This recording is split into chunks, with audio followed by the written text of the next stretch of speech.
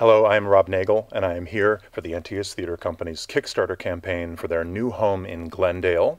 This is the Shakespeare Insult Challenge. I am calling out Ed Asner, Betsy Brandt, and Annika Marks. Spread the word, make a donation, make a video, and if you don't, you are a logger-headed, artless, motley-minded pig nut. Never been called that before, have you? Make a video.